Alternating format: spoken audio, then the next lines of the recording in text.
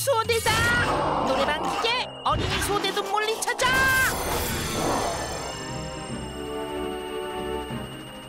친구들이 위험할 수도 있으니까 일단 대피시키고 전 노래방 기계를 마을 밖으로 유인하자. 알았어 방울방울 포 발사!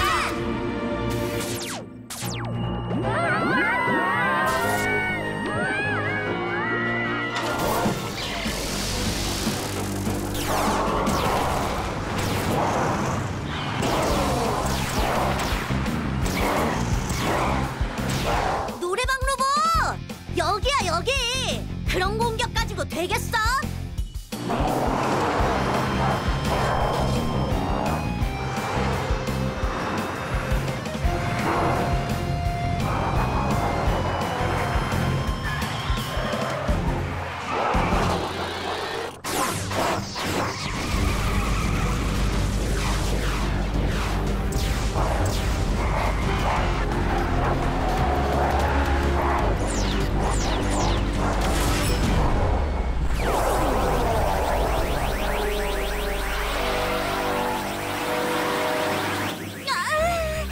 정말 끔찍한 소음이야.